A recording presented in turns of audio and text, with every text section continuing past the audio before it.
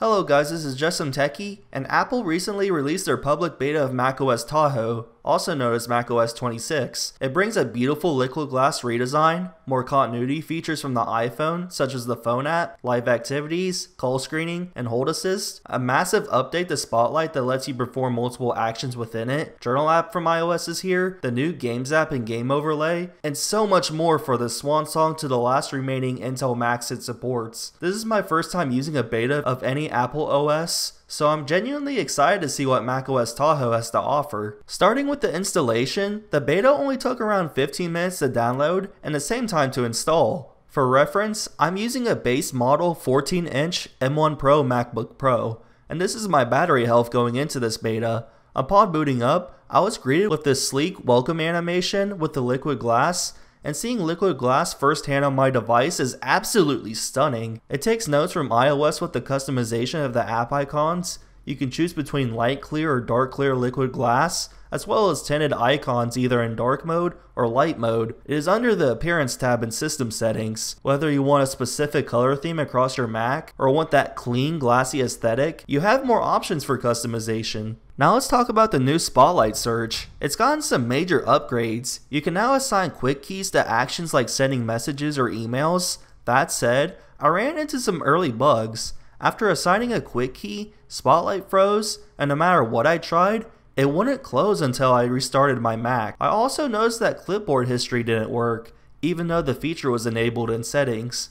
So yes, it's still a beta, and bugs are expected, but when it works, Spotlight is honestly incredible in what it can do now. Apple has introduced a new Games app and game overlay in macOS Tahoe. The initial landing page doesn't seem to load for me upon opening it, but it did seem to work when launching it a few days later. Game overlay doesn't offer a ton versus other gaming overlays, I wasn't able to figure out the shortcut to access it, other than clicking the controller icon on the menu bar. No performance metrics either. and mostly only detects games you've downloaded on iOS or iPadOS, and it can detect Steam games you've played on your Mac. But otherwise it's down to Apple Arcade titles and other App Store titles mostly. It could always change in later betas and the final release of Tahoe. Moving on to the phone app, yes, you can manually dial a phone number in the app, which I mean, you expect at the very least. There is a button to change contact posters, but it didn't work for me, even on saved contacts. To actually personalize them, I had to go in and edit the contact directly. Phone call quality I didn't test, but I have used my MacBook to answer a call before, and it sounded just fine. I also didn't have an opportunity to test call screening or hold assist, so apologies if you wanted to see them in action. Since it still relies on your iPhone, the dedicated phone app doesn't really add any new functionality, but it does make the whole process cleaner and easier. And hey, who knows, maybe we'll see MacBooks with cellular options someday, like the iPad Pro or Apple Watch. Another app that's now on macOS without a ton of changes is the Journal app. Admittedly, I don't use the app a ton, but it's still a nice app to have when you need it. You can add voice memos, photos, location, etc. with this app. You can lock the journal app after a set amount of time. Not a ton to say about it, but an app worth giving a shot if you haven't already done so on iOS.